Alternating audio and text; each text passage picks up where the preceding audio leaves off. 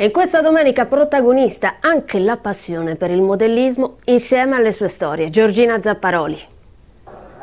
Un paesaggio giapponese attraversato da una ferrovia, il tutto contenuto in una valigetta.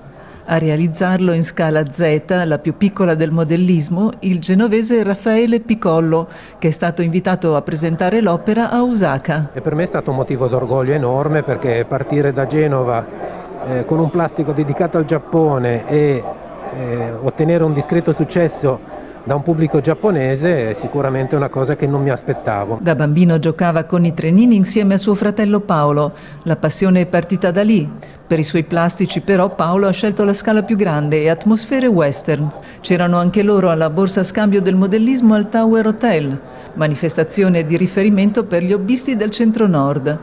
A organizzarla il gruppo fermodellistico genovese, il più antico d'Italia. Discutiamo su quello che è l'ambientazione della ferrovia sia nelle varie epoche che eh, anche nel mondo diciamo, in miniatura. Questo editore di Sant'Olcese è diventato un riferimento per i modellisti liguri. Ferrovia Genova Casella, ma anche l'antica guidovia della Madonna della Guardia e stiamo preparando altri libri sulle ferrovie del territorio ligure. Il modellismo stesso è l'oggetto di questo minuzioso diorama che ha già vinto diversi premi.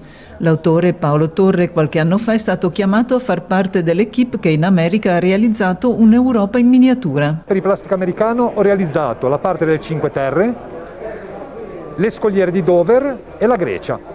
Tra i banchi degli oltre 60 espositori anche trenini a molla degli anni 30, navi da guerra, bambole e particolari di case in miniatura.